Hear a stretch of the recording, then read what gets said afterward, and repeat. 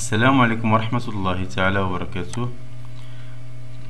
إذا الآن سوف نبدأ درس جديد رقم تسعة وعشرون صفحة مئة وثمانية المستوى الثالث ابتدائي. نحو التناسبية العلاقات العددية. Vers la proportionnalité les relations numériques. Voilà لنبحث ونطبق. الآلة العجيبة تحول أعداد الخانات اليسرى باستخدام علاقات الإضافة والضرب. أكتشف هذه العلاقات ثم أطبقها على أعداد الخانات اليمنى. نعم لدينا في هذه الآلة استعمل استعملنا علاقات الإضافة والضرب بهذه الأعداد في على اليسار. إذا واحد علاقة واحد مع واحد. نعم. جيد. واحد زائد لا شيء صفر. يساوي واحد. أو واحد ضرب واحد واحد. نعم. اثنان مع ستة. نعم. اثنان زائد أربعة ستة. أو اثنان ضرب اثنان ضرب ثلاثة ستة. ثلاثة مع ثلاثة نعم ثلاثة زائد صفر ثلاثة أو ثلاثة في واحد ثلاثة. ضرب واحد ثلاثة أربعة مع اثنا عشر وهكذا. إذا دائما العلاقات لدينا هنا واحد مع واحد ثلاثة مع ثلاثة خمسة مع خمسة سبعة مع سبعة. وهنا اثنان مع ستة أربعة مع اثنا عشر وستة مع ثمانية عشر. إذا هنا يوجد علاقتان علاقة واحد رقم واحد وعلاقة رقم اثنان. إذا واحد مع واحد أربعة مع ثلاثة مع ثلاثة وخمسة مع خمسة وسبعة مع سبعة دائما نجد نفس العدد في آه، في كلتا الحالتين. إذا نقول أن العدد مضروب في واحد ضرب في واحد أو زائد صفر. وهنا آه اثنان مع ستة. نقول اثنان زائد أربعة ستة. وهنا أربعة زائد أربعة ليست ستة بل ليست 12 بل 8 إذا في هذه العلاقة اثنان مع ستة أربعة مع 12 وستة مع 8 نجد بأن نضرب في ثلاثة. اثنان ضرب ثلاثة ستة أربعة ضرب ثلاثة 12 وستة ضرب ثلاثة 18 إذا هنا نستخرج بأن هناك العلاقة بينهما الضرب ضرب في ثلاثة.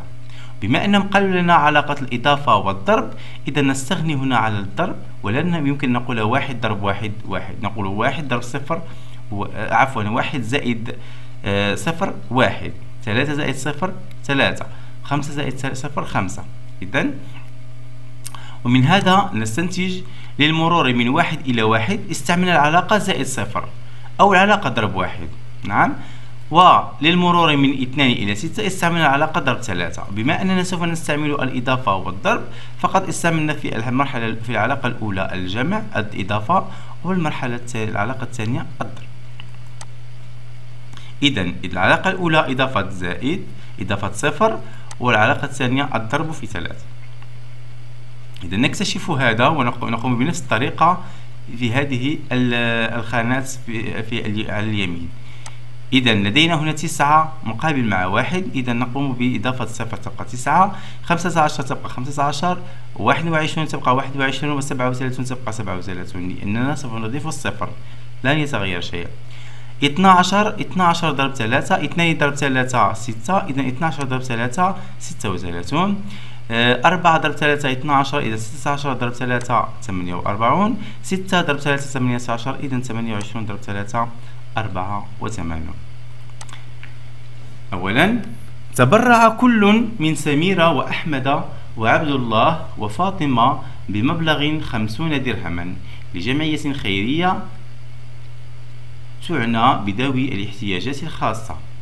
أحدد العلاقة العددية أضيف أو أطرح أو أضرب أضرب ثم أتمم ملء الجدول. كل من هذه من من هذان التلميذان أو الأطفال سميرة أحمد وعبد الله وفاطمة تبرعوا ب 50 درهم للواحد. كل يعني للواحد. المبلغ الذي يتوفر عليه قبل التبرع يعني قبل ما يتبرعوا كان لهم كل واحد له مبلغ من المال. وكل واحد تبرع ب 50 درهما اذا كم يتبقى له؟ إذا 650 سميرة 650 تبرعت ب 50 درهم. ب 50 درهم يتبقى لها 600 درهم. أحمد 500 درهم تبرع ب 50 درهم تبقى له 450 درهم. عبد الله 750 درهم تبقى له 700 درهم. وفاطمة 350 درهما تبقيت لها 300 درهم.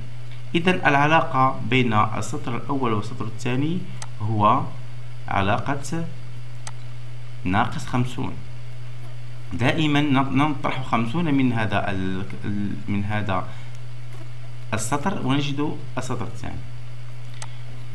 رابعا اتفق أمين وحمزة على استبدال قطع نقدية بطوابع بريدية ولونوا بطاقة العدد ولو بطاقة البطاقة العلاقة العددية المناسبة واسمه من الجدول.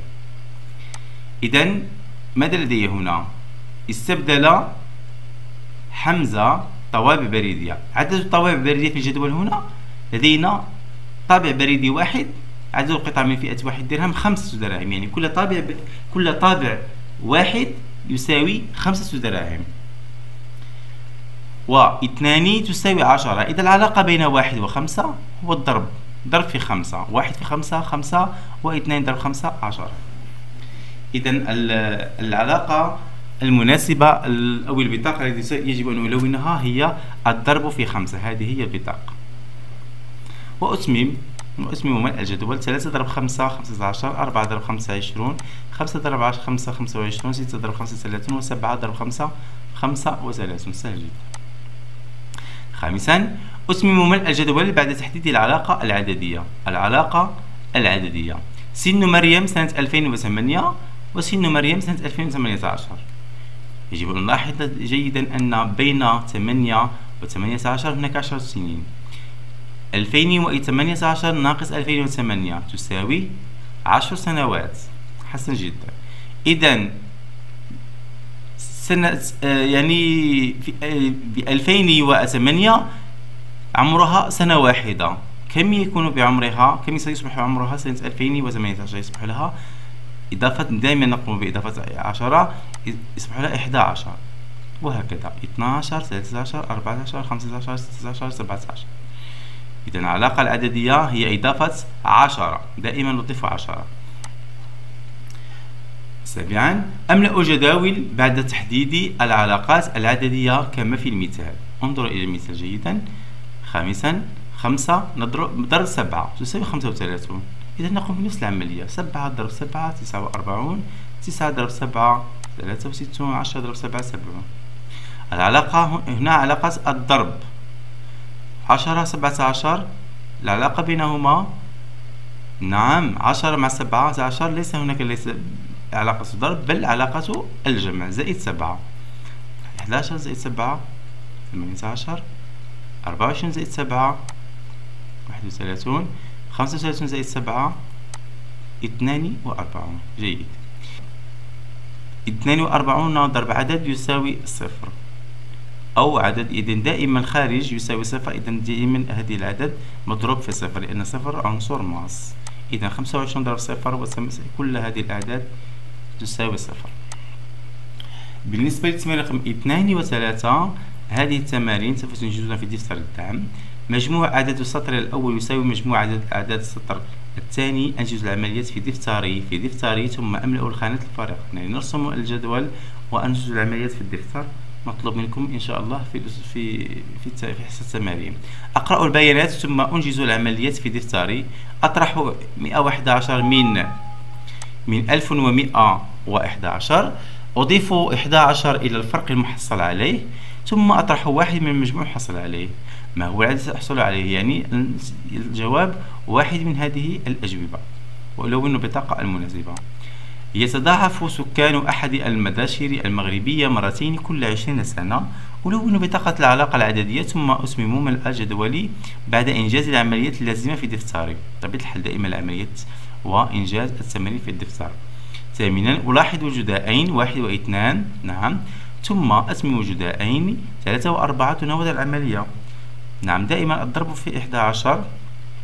قد تدربنا جيدا في الضرب في إحدى عشر ولكن نحن تدربنا في عددين. دائما نضرب عددين يعني اثنان وعشرون في إحدى عشر. نقوم فرق اثنان هنا واثنان هنا ونقوم بالجمع بينهما في الأسفل في, في الوسط عفوا. وهذه طريقة أخرى انتبهوا إليه جيدا وقوموا بإنجاز السماري إذا وفقكم الله وشكرا على انتباهكم وإلى اللقاء.